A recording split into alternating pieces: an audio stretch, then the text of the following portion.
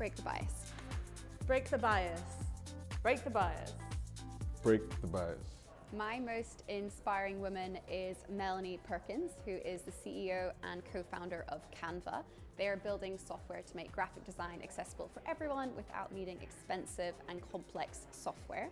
Melanie is one of the few female CEOs um, to have set up a tech unicorn, uh, so a company that's valued over a billion dollars, and it's one of the few tech unicorns that's actually profitable. My most inspiring woman is Ada Lovelace. She was the first woman to develop mathematical theories which enabled us to now apply them to modern day web applications. She inspired me to study mathematics myself and then go on to learn how to code at Le Wagon, where I have the opportunity to now teach other amazing women how to code. Um, so the most inspirational woman in my life today is uh, an old colleague of mine. Her name is Charlotte Duncan and she currently runs a company that promotes uh, people from diverse ethnic backgrounds into uh, jobs in tech.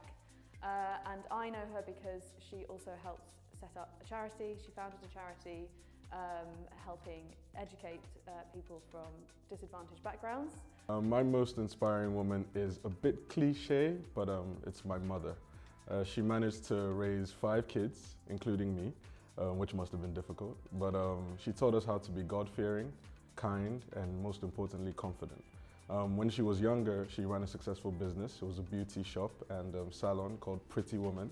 Um, but later on in life, she had a calling for philanthropy. So she started this non-governmental organization called the Free Foundation. Free standing for Family, Reorientation, Education and Empowerment. So she built a library, um, she taught many women how to read, um, also taught them different skills like fish farming, tailoring and um, other things. Um, sadly, she passed away in January 2009, but I believe she lives on in all of us, family, friends, and most of the people that she touched.